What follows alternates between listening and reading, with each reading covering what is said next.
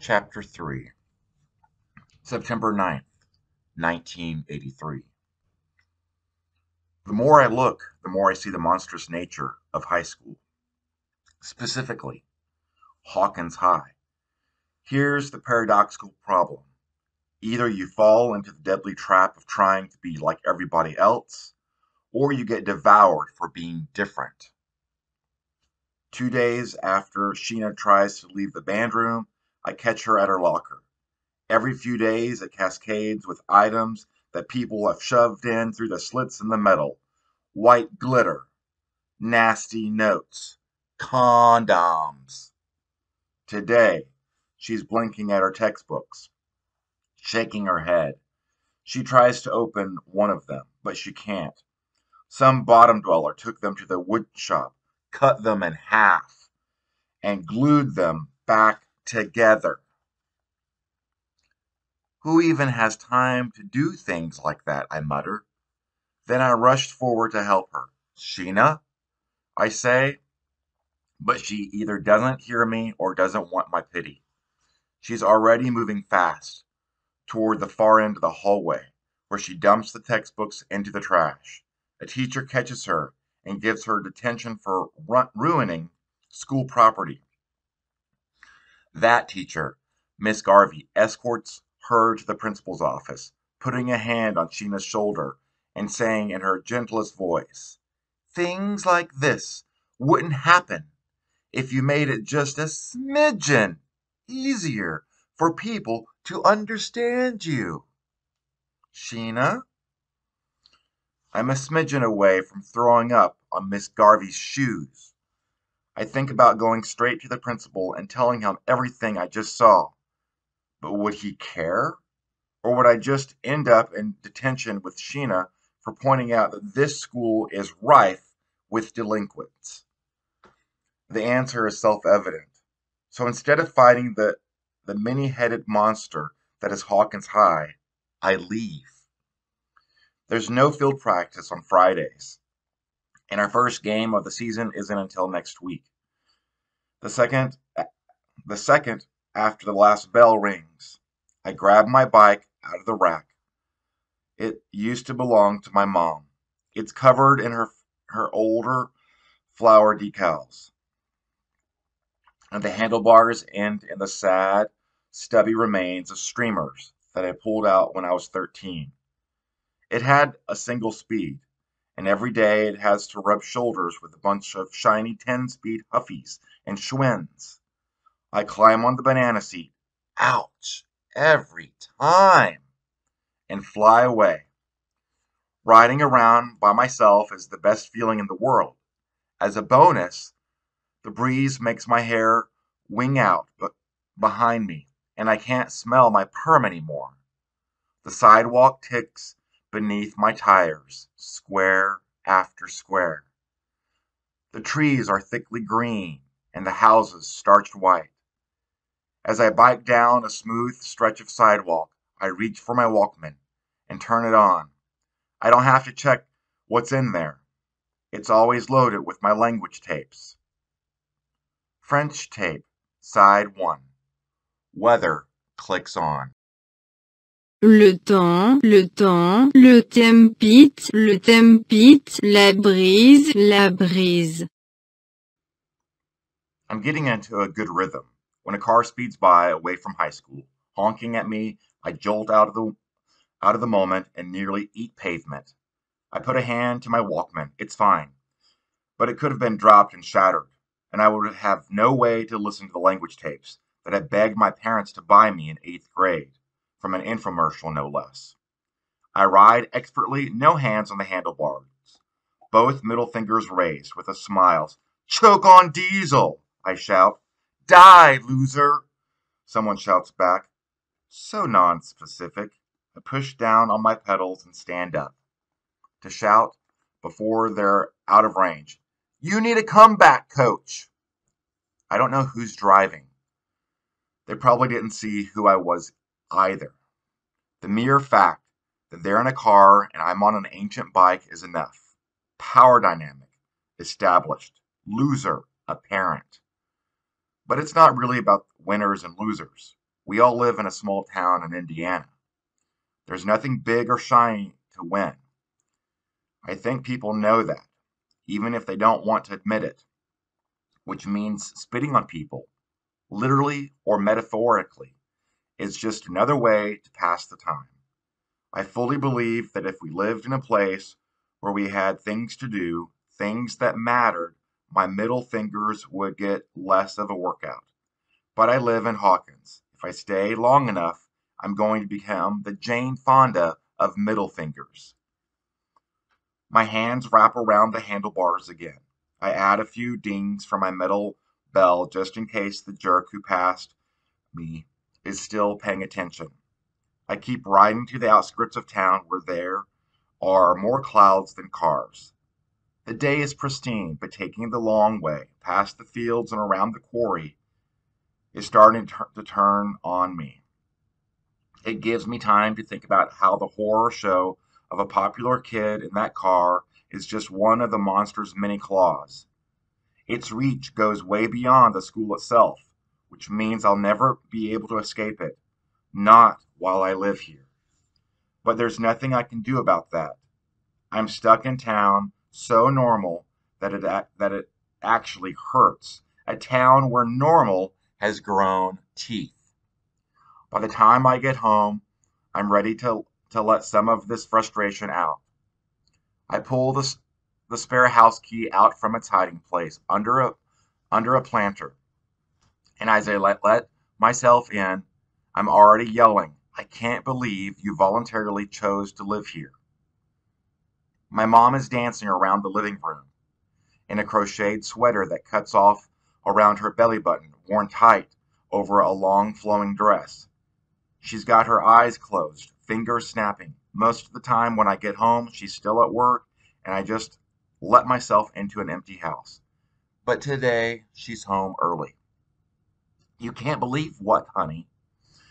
A record is turning on its carved wooden stand, letting, letting out the predictable sounds of a plaintive voice, insisting that if someone doesn't love them now, they never will. Mom is stoned at 4 p.m. and listening to Fleetwood Mac. I can't believe you chose to live here, I say. Those words are so pointed, Robin, she says in a whisper tone. Can't you start again from a place of peace? When she starts speaking in mantras, I know I'm not getting an answer. Usually, I'll drop this topic on the shag carpet, find myself a snack, and go to my room to get my homework out of the way so I could work on what I actually like languages. I'm up to four so far English, Spanish, French, Italian. And I want to be fully fluent in, in each of them before I start adding more. But something about starting down the rest of sophomore year is starting to mess with my head. And the normal routine just won't do. I go over to the record player and turn the volume down. Mom flicks her eyes open. She doesn't like when someone, well, when anyone disrupts her records. She worries about scratching them as much as other people would worry about hurting a friend's feelings. Did you know that that they created this song by splicing together pieces of, of other songs? She asks in a hyper impressed, dreamy sort of state. You'd think Fleetwood Mac single handedly, quintuply handled, handled brought about world peace. Did you know that they've had two albums since Rumors came out? Neither of those is nearly as good, she says. Robin, baby, you know how I feel about this. People are obsessed with new. I really do know what she means. Everyone at school gobbles up new fashions, new fads, new technology. Milton obsessively collects anything that can play new wave, from keytars to eight tracks. Dash owns a dozen gray V-neck sweaters that he swears are different brands, even though they look exactly the same on his skinny frame. And he's got a pair of Preptastic Sperry topsiders for every day of the week.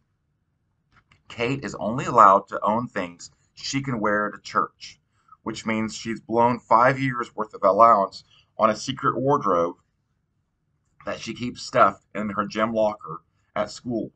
Right now, she's collecting overpriced lace headbands because she wants to look like some new pop singer with a severely Catholic name. The Odd Squad are pretty tame examples. Actually, Tam and her friends seem to have a new tube of lipstick or shade of eyeliner every day. And don't give me a megaphone and ask how much Steve Harrington must spend on hair product and chunky, unflattering sunglasses because people will hear about it all the way in Michigan. Everything in our lives is supposed to be shiny, store bought, or sickening expensive. All three is the Holy Trinity. Another thing the high school monster is good at constant, ever faster consumption. I'm not even trying to keep up. I love the flaking paperbacks that I find at the library book sale. The only pieces of technology I own are an off brand Walkman for my language tapes and a Polaroid camera that Kate gave me for my birthday last spring, which I suspect was her old model because she had a newer, shinier 8mm. Most of my clothes are vintage or hand me downs from various cousins. Not actual cousins, but the kids of mom and dad's hippie friends. And they have a lot of kids. I happen to agree with mom on this. But there's another side to the argument. You and dad are a little too invested in old stuff. It was made in the 60s. You immediately think it's sacred. You know you can't actually worship macrame and lava lamps, right? Mom crosses her arms and squints at me, her groovy state grinding to a halt. Seriously, how did you two complete flower children end up stranded in Hawkins, Indiana? I asked, plopping down on the carpet, tucking my feet under me. It's progeny versus parent. And I'm going to stay right here until she, until she coughs up the truth. You really need to know, Mom asks. I really do. I don't ask Mom and Dad a lot of questions. Or if I do, they're usually rhetorical. I don't demand answers. I've always been an easy child, as Mom calls me, going along with things, never kicking up trouble. Maybe it's the novelty at this moment that makes her suspicious. Or maybe she doesn't like talking about her past unless it's on her own terms. What for? School project, I say with a shrug, about our origins? I'm good at thinking on my feet. Have I mentioned that? Mom laughs and swirls her bracelets around to the high pitched cooing of you making you make loving fun. Your origin was in the back of a VW van after this one particular magical night on the Oregon coast. I put my hands firmly over my ears, jumped to my feet, and removed myself from this blatantly unacceptable situation. In my room, I throw on my metallic headphones and click the Walkman back. On French side, tape 2, side 1. Greetings and goodbyes. Come on! But the soothing monotone of the woman's voice saying, Bonjour, salut, coucou, allô, au revoir. Je suis désolée, mais je dois y aller. Bonjour, salut, coucou, allô, au revoir. Je suis désolée, mais je dois y aller. just isn't doing it right now. I turn to my limited selection of actual music and put on Stevie Nicks' solo album, Belladonna, to compete with Mom's eternal Fleetwood Mac. It's a small act of rebellion, but it scratches the itch. I skip straight to the uber dramatic opening, to Edge of 17. The music spills over me as I fling myself down on the carpet. I stare at the ceiling. The ceiling stares back. I'm stuck here, definitively stuck, and I don't know what to do. Stevie Nicks is her gravely way. Stevie Nicks, in her gravely way, is reminding me that I'm not anywhere near 17. There's something kind of there's there's some kind of hope in 17. Some promise of adventure that I can only dream about. Past that, 18 is waiting, and freedom, and the rest of my life. I'm only 15 and a half. Nobody sings about that. And I'll read chapter 4 very soon.